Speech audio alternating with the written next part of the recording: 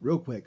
The conclusion I've come to about operating systems is that I don't understand them enough, and um, because there are all these different data structures in the operating system, and um, when you have a blockchain stored in the operating system, it's stored.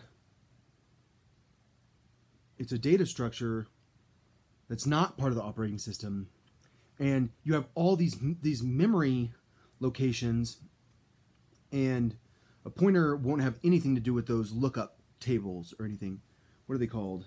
Um, I don't know what they're called. Records or whatever. I don't know what they're called. Um, and I all I very don't understand virtual versus um, physical memory paging. And so I think I got really deep into memory, and that's why I'm so confused. Because um, memory's hard. And so, um, yeah. All right. So I think that I was right about the Merkle tree, and that the problem is when I find out that I'm wrong, I think I'm wrong, but I am wrong because no matter what, the data is all stored together. And you don't have to worry about the data being changed once it's physically stored somewhere, um, unless you do, because they have to change all the data. I don't know.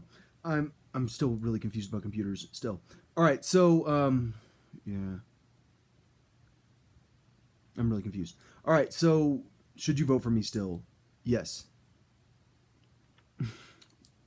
but um, it doesn't mean that I understand computers. But I do understand how to write TurboTax, and I think that like if you're voting for someone who's 80 years old or 70 years old, they can't can't really use computers.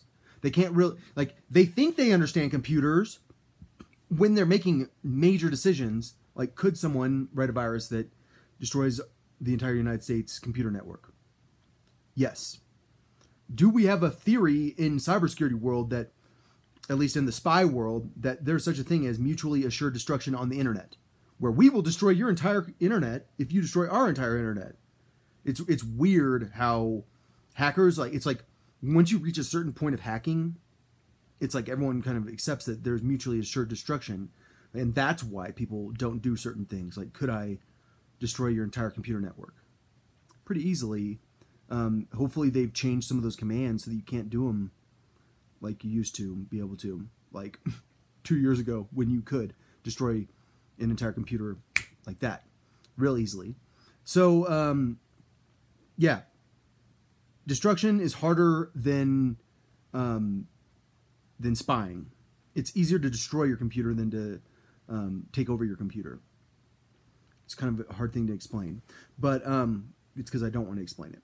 So, are the stakes on the internet serious. Yes. So should we take the candidate we choose seriously from an uh, uh, seriously?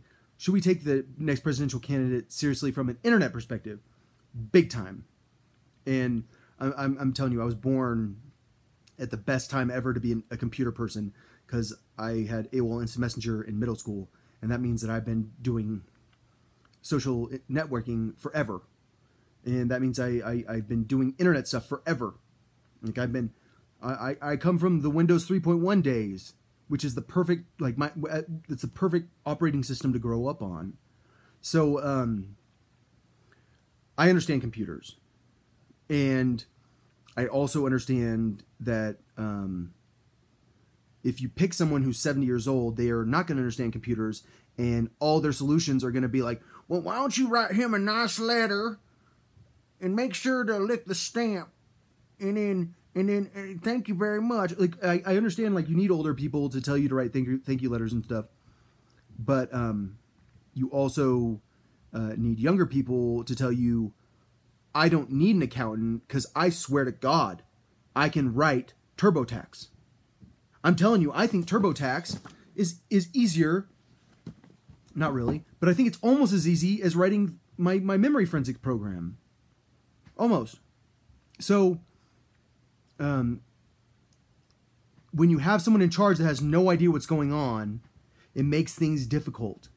And if you want a, a, an economy that's streamlined, not mainstreamed, streamlined, that is efficient, that is smart, that goes into the future, you might need to hire someone who's a little bit younger. And is Pete Buttigieg that guy?